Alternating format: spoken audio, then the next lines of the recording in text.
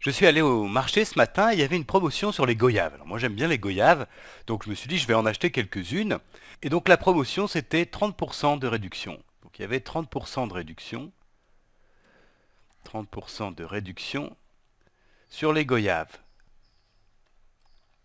Sur les goyaves. Et c'était une promotion qui était euh, valable uniquement aujourd'hui. Aujourd'hui seulement. Donc voilà, je me suis dit, bah, c'est une bonne journée pour acheter des goyaves. Donc j'ai acheté 6 goyaves. J'ai acheté 6 goyaves.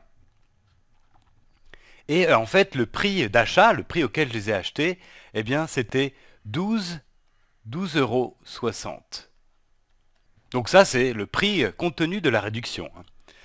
Alors je suis rentré à la maison et puis euh, ma femme m'a dit, elles sont vraiment bonnes ces goyaves, est-ce que tu pourras en racheter deux demain? Alors j'ai dit bien sûr, et puis le lendemain je suis retourné en acheter, et évidemment c'était plus jour des soldes.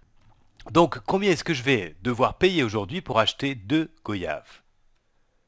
Deux goyaves. Voilà, c'est ça, parce que hier j'ai payé 12,60€ pour 6 goyaves avec 30% de réduction, et aujourd'hui je vais acheter deux goyaves, mais je vais les acheter à plein tarif. hein. Plein tarif.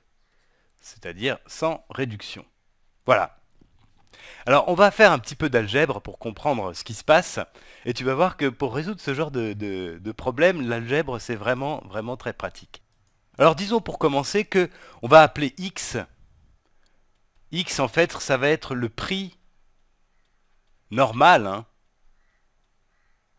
Le prix normal de 6 goyaves. Donc ça, c'est le prix de 6 goyaves sans réduction. hein. Ici, ici, ce qu'on avait, ça, c'est 12,60€. C'est le prix avec 30%.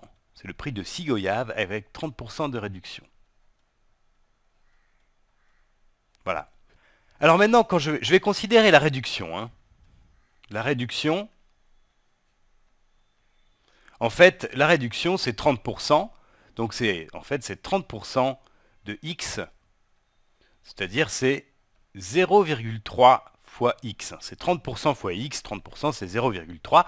Donc ce que je sais, c'est que si je prends x, c'est-à-dire le prix normal de 6 goyaves, moins la réduction, c'est-à-dire moins 0,3x, eh bien ça, ça me donne le prix avec 30% de réduction, et ça je le connais, c'est 12,60 euros. Voilà. Donc là, on obtient une équation, et, il suffit maintenant de faire de l'algèbre, hein, d'appliquer les règles d'algèbre pour arriver à trouver la valeur de x. Alors, ici, j'ai... bon, quand j'écris x, ça revient à écrire 1x. hein. Donc si je compte combien j'ai de x ici, là j'en ai 1 et, et j'en enlève 0,3. Donc finalement, je vais me retrouver avec 1 moins 0,3, ça fait 0,7x de ce côté-là. Et ça, ça sera égal à 12,60 euros. Voilà. Alors tu verras que quand tu auras un petit peu l'habitude de ça, tu pourras aller directement à cette, étape-là, tout simplement en te disant que si tu as 30% de réduction, en fait le prix que tu payes, c'est 70% du prix normal, hein, puisque c'est 100% moins 30%, donc c'est 70% du prix. Donc effectivement, là, tu, ce que ça veut dire ici, c'est que 70% du prix normal de 6 goyaves, c'est 12,60 euros. 12 euros et 60 centimes. Voilà, alors maintenant, ben, pour trouver x, il suffit de diviser des deux côtés par, euh, par 0,7.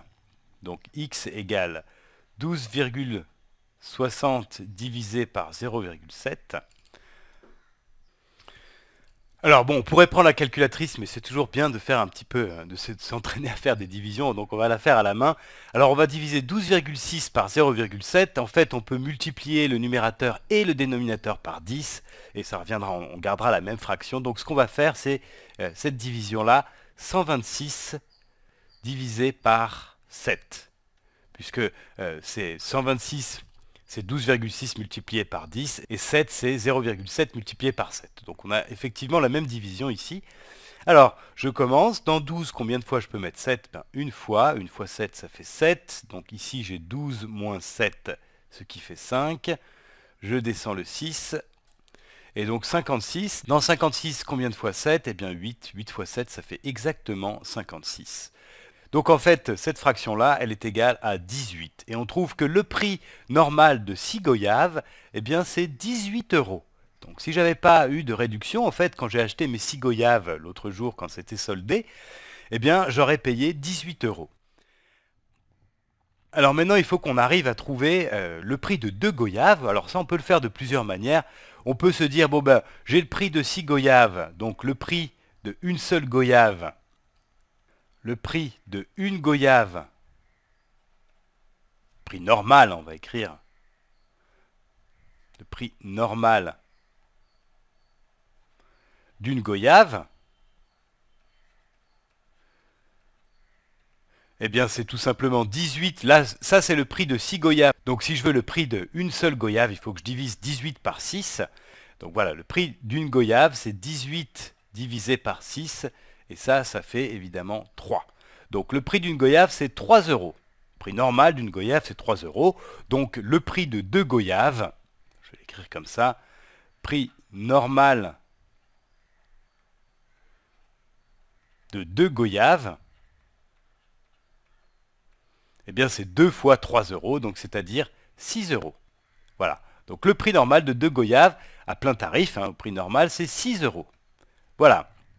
Alors on aurait pu, à partir de ce prix-là de normal, le prix normal de 6 goyaves, faire différemment, puisqu'on aurait pu remarquer que 2 goyaves, c'est un tiers de 6 goyaves. Hein. Si je divise 6 par 3, eh bien j'ai 2. Donc euh, 2 goyaves, c'est un tiers de 6 goyaves. Donc le prix de 2 goyaves, ça sera un tiers du prix de 6 goyaves. Donc un tiers de 18 euh, euros et un tiers de 18 euros, ça fait bien 6 euros. Donc on, aurait retrouvé le même résultat. Voilà. Alors on va récapituler un petit peu tout ce qu'on a fait depuis le début. On est parti du fait que euh, quand on achetait des 6 goyaves avec 30% de réduction, en fait on payait 70% du prix. Donc on savait que 70% du prix de 6 goyaves, c'était 12,60 euros.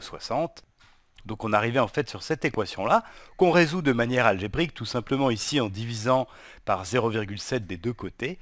Ça nous donne le prix normal de 6 goyaves, et ensuite, en gros, en faisant une règle de 3, on arrive à trouver le prix normal de 2 goyaves.